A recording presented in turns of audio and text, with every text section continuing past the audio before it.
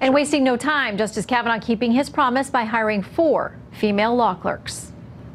I'm proud that all four of my newly hired law clerks at the Supreme Court are women, a first in the history of the Supreme Court. All right, tonight's panel here to weigh in former spokesman for Obama for America, Zach Friend, and the CEO and president of Concerned Women for America, Penny Young Nance. Welcome to you both. Good to see you tonight. Be here. Okay, I want to read a little bit more of the New York Times opinion piece that Trey cited, and it said, White women come get your people. That is the headline. It said, White women benefit from patriarchy by trading on their whiteness to monopolize resources for mutual gain. In return, they're placed on a pedestal to be, quote, cherished and revered, but all the while denied basic rights. Penny, are you being denied your basic rights? Wow, I got to tell you, I'm still rolling from what Kamala Harris said. She does not represent all women. By the way, Concerned Women for America America is the nation's largest public policy women's organization. And uh, a lot of what I've heard tonight, read from the New York Times, is racist and um, belittling of our experience. By the way, I and Shannon, as you know this, I am a survivor of a physical assault and a uh, attempted rape on a Virginia running path when I was pregnant with my first child. I take all this very seriously.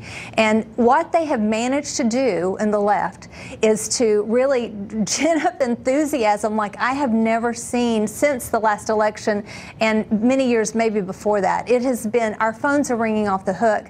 Women are saying, how can we get involved? We had a rally of 500 women um, outside the Senate, although you didn't see it covered other than probably on Fox. Um, and you had we had women walking the halls in Women for Kavanaugh T-shirts because we believe in fairness. We believe in equal protection under the law. We believe, uh, as the mama bears of this country, that we want to have fairness for all both of our children, our, our sons and our daughters. Well, let me, Zach, let me bring you in here because obviously the left was very motivated by this too. And we saw scores of women. I was here covering the vote on, on Saturday, uh, there were hundreds of people on the stairs of the Capitol and then onto the Supreme Court. I mean, clearly they were very motivated by this, and Democrats feel good that that's potentially an in for them with this very important uh, voting bloc of suburban women come the midterms. Well, I think there's been a pretty significant movement uh, toward the Democrats for suburban women since 2016. But I'll say that actually this confirmation fight seemed to also solidify the Republican base as well. I think it makes the Senate a more difficult grab for the Democrats right now. And I think, uh, as Mark Penn had actually said on an earlier show, right now I think you could use some more adults in the room in general. Right where I think we need to go at this point is actually having uh, some sense of healing across the country, some people that actually can take the partisanship out and actually try and bring democracy back to the country. Because a lot of senses of people is that uh, the government isn't working for them, the court isn't working for them, and they feel like their voice isn't being heard at all. I think if the Democrats can tap into that sense and the sense of, uh, in essence, being the adult in the room, then actually they'll be successful in November. I think if we continue the petty fights, uh, both sides are actually engaged in pretty significant petty fighting right now.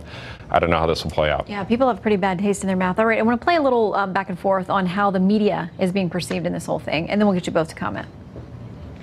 Do you think uh, the, the, the, press is coming out of this looking weaker uh, because many people feel that the press chose a side through this? Yes, uh, certainly that's the way it's going to look to um, Trump supporters and to people who've been questioning the media's uh, bias and their ability to report straight for a long time. And we know where the public trust numbers are um, for the press generally, and it's somewhere down below the basement. Zach, I think we're worse than Dennis now.